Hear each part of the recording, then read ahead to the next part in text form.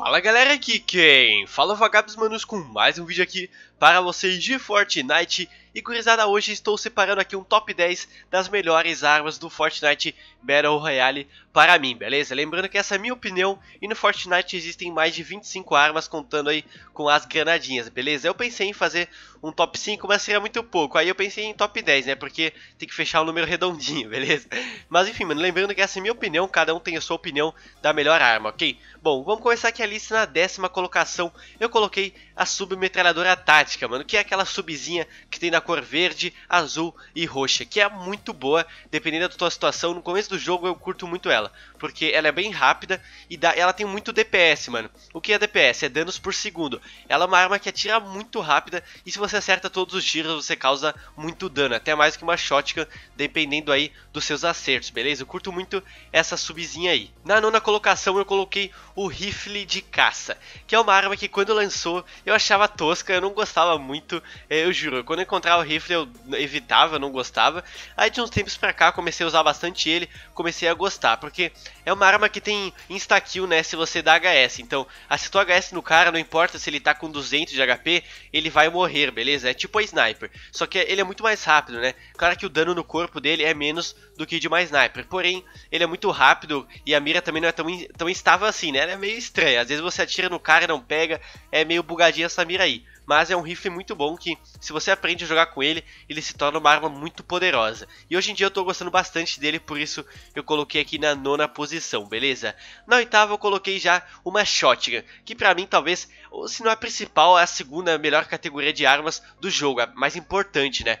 E mano, eu coloquei a Shotgun pesada, que é a Shotgun mais nova, né, que lançou aí no Fortnite, que ela tem da raridade épica e da raridade lendária. A vantagem dela é que ela pode vir em baú, né? Então, se você tá lá no no começo do jogo, abrir um baú, ganhar essa shotgun, você já tá em vantagem, porque shotgun no começo do jogo é muito bom. Mas essa 12 não é minha preferida, eu gosto dela, mas realmente eu não me dou muito bem com ela, sabe? Por isso eu coloquei apenas na oitava posição. Mas ela tem um ponto positivo, como eu falei, dos baús, e ela também tem praticamente um hit insta-kill também. A Pump, né? A Pump é tipo um HS certeiro, você consegue matar o cara de perto, né? Essa 12 aqui, um HS de perto, você tira 190, então é praticamente um hit também para matar o seu oponente se você acertar direitinho, beleza? Na sétima colocação foi bem difícil decidir a sétima e a sexta, porque são dois tipos de armas que eu gosto bastante e que, manos, na sétima eu coloquei o lança-granadas, que eu curto muito, mano, principalmente no modo esquadrão, que coisa maravilhosa usar o lança-granadas no modo esquadrão, sério,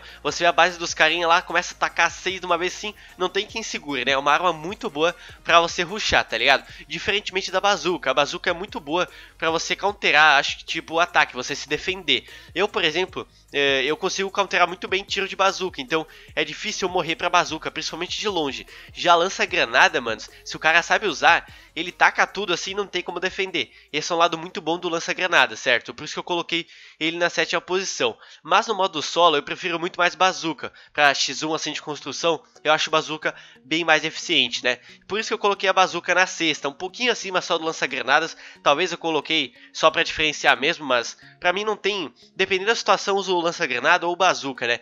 Como eu falei, eu prefiro muito mais lança-granada no modo esquadrão, mas bazuca no modo solo é essencial, né? E para se defender também. Por exemplo, se defender de rush com a bazuca é muito melhor do que de lança-granada. Lança-granada é muito ruim para se defender, certo? E tipo assim, bazuca é boa para rushar também se o cara que está defendendo não é muito experiente no jogo. Se o cara já é experiente, ele consegue counterar a bazuca muito bem. Mas eu acho a bazuca um pouquinho mais eficiente que o lança-granada, né? na minha opinião, só um pouquinho.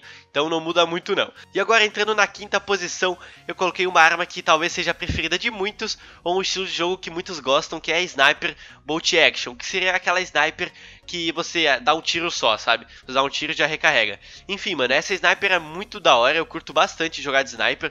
Eu não sou muito bom de sniper, pra falar a verdade, eu sou meio, é, meio leprosinho às vezes, mas é uma arma que eu gosto bastante. Quando dá HS, meu amigo, não tem quem segure, né? HS de sniper é um hit só, matou o cara e a GG vai pro cemitério, né, mano? E eu coloquei apenas a sniper de bolt action porque a semi-automática, manos, eu não consigo mais gostar dela. Nenhum HS dessa arma semi-automática, se não me engano, mata direto se o cara está com 200 de HP. Acho que tira 150 um HS daquela semiautomática. E é muito ruim isso, tá ligado? Claro que ela tem aquela vantagem de dar vários tiros seguidos, mas eu prefiro muito mais a bolt action porque quando você joga de sniper, você geralmente calibra onde o cara vai, você tá uma distância do cara, você não tá muito perto.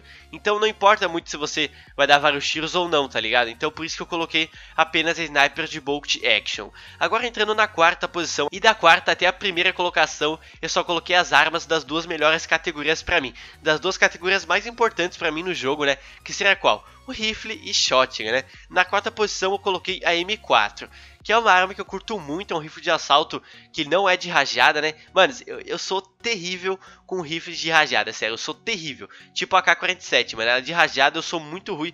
Eu já queria adiantar que eu não coloquei ela na lista, mas é porque realmente eu sou muito ruim com ela, muito ruim. Eu sei que na lista de muitos aí, a AK vai aparecer, talvez até no top 3, até em primeiro, dependendo do seu estilo de jogo. Mas eu não consigo jogar de AK, sério mesmo, eu não consigo, por isso que eu não coloquei aqui nessa listinha. E na quarta posição coloquei a M4, que é um rifle que eu curto muito quando eu encontro assim no começo da partida, é muito bom você já ganhar o riflezinho, né, consegue matar o oponente e dar um daninho bacana, tá ligado? Eu gosto bastante da M4. Agora entrando no pódio aqui, na terceira colocação, eu coloquei a Pump, mano. A, Pump, a famosa Pump, a polêmica Pump. Talvez para muitos ela também esteja à frente aí dessas armas que eu vou falar logo a seguir. Mas enfim, a Pump é uma arma que eu uso muito, uso muito. Ultimamente eu uso bastante a Pump junto com uma tática, né? Porque a Pump usar sozinha eu realmente não consigo. Talvez por isso que eu coloquei ela apenas na terceira colocação. Eu não consigo jogar apenas de Pump, né? Como Shotgun. Mas mano, essa arma eu já passei tanta raiva com ela. Não só contra ela, mas usando ela também. Manos, quando tem um cara que tá de Pump eu tô lá de tática, eu dou 3 tiros de tática em cheio no cara, tiro 180, ele erra 3 tiros de pump em mim, vai lá e acerta um, HS e morri instantaneamente num tiro só. Isso me dá uma raiva, manos. Sério, a coisa que mais me dá raiva nesse jogo é eu morrer pra pump e um insta-kill, tá ligado? 200 de HP. Nossa, isso me dá muita, muita raiva, sério mesmo. Mas essa arma também já me salvou muitas vezes, né? Tipo, eu tô lá com pouquíssimo HP, o cara tá full vida, eu dou um HSzão no cara e já me salvo, tá ligado? Por isso que ela é uma arma muito boa, né? Eu acho que a maioria aí deve gostar da Pump. E agora na segunda colocação eu coloquei a tática, né, a Shotgun tática, que eu sei, como eu falei, para muitos a Pump fica à frente da tática, porém para mim não. Eu, como eu falei, eu não consigo usar a Pump sozinha, porém a tática eu consigo, eu gosto da tática, eu gosto de usar ela sozinha. É claro que o dano dela, às vezes é muito bugado, você dá um tiro, tira, sei lá, 6 de HP ou até menos, mas é uma shotgun muito boa, que dá vários tiros, né? E eu me dou muito bem com ela também, por isso que eu coloquei na segunda colocação. Quando eu encontro uma tática logo no início da partida, é a melhor coisa pra mim, tá ligado? Tipo, eu entro numa casa e encontro uma tática, é fundamental no começo do jogo ter uma shotgun, né? E como eu falei, mano, shotgun e rifle, pra mim, né, são as classes de armas mais importantes aí no jogo. Se você não tem shotgun e rifle, você tá com o pé atrás, digamos assim, dos outros oponentes, né? E agora na primeira colocação, coloquei, né, uma arminha que todos já devem saber qual que é agora nesse ponto do vídeo, que é a Scar, mano. A Scar que, pra mim, de longe é o rifle que eu mais me dou bem. Eu gosto bastante da M4, mas a Scar, eu não sei porquê, mas eu dou muito HS com ela. É, eu não sei se eu sou cagado, é, eu juro, eu não miro na cabeça do cara, eu dou tiro e dá HS. Eu sou muito cagado com a Scar, mas por isso que eu gosto muito dela. Eu não erro tanto tiro com a Scar quanto eu erro com a M4, por isso que eu coloquei a Scar à frente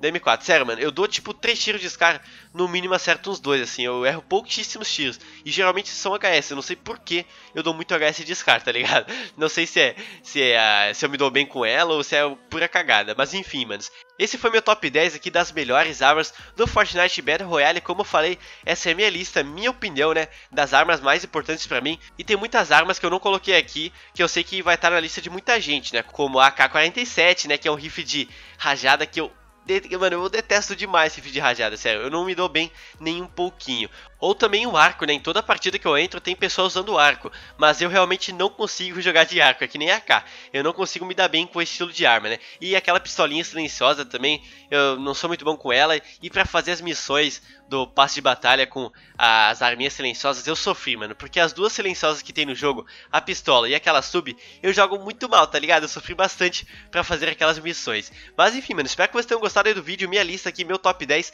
das melhores armas do jogo pra mim. Comente aí a sua lista que eu quero saber a sua opinião, beleza? É claro que eu respeito sua opinião, então eu espero que você respeite a minha também, beleza? Então é isso, galera. Aquele abraço. Se vemos no próximo vídeo. Deixa o like também que não custa nada e me ajuda muito, beleza? Então é isso, galera. Valeu, falou, se eu fui!